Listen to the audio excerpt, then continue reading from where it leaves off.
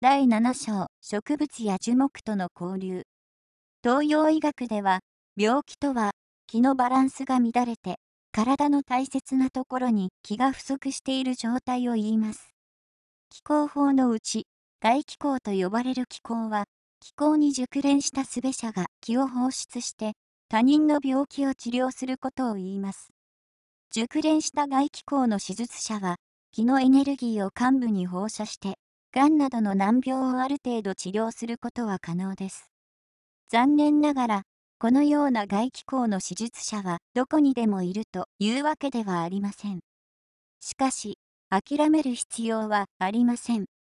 自然界は気のエネルギーに満ちています。特に、大木や植物の成長する葉先などは、強い気のエネルギーが放出されているので、このエネルギーを取り入れる方法を紹介します。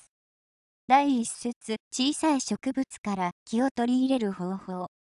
植物が成長する枝の先、穂の先、新芽、花のつぼみなどからは強力な気が放出されています。元気よく伸びているこれらの植物に手のひらをかざします。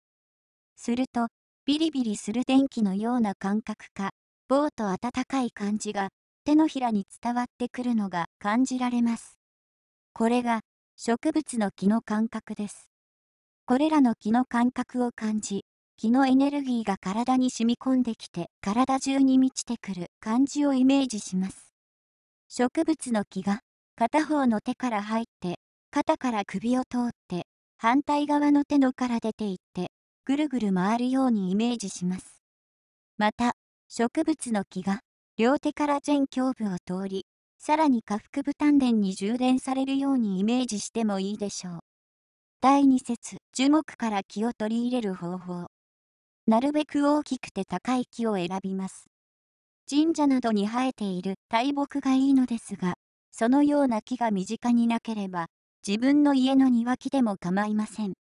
ただし、枯れていない息の良い木を選びます。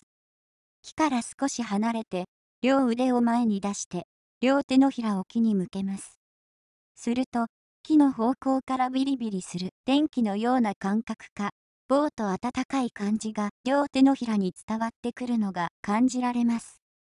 この感覚を感じた後、気のエネルギーが両手から肩、胸、腹、下肢と通過し、両足の足の裏から地面を通り、再び木に帰り、木の幹を上昇して、両手の高さから再び空間を通して両手に返ってくる気の循環のサイクルをイメージします。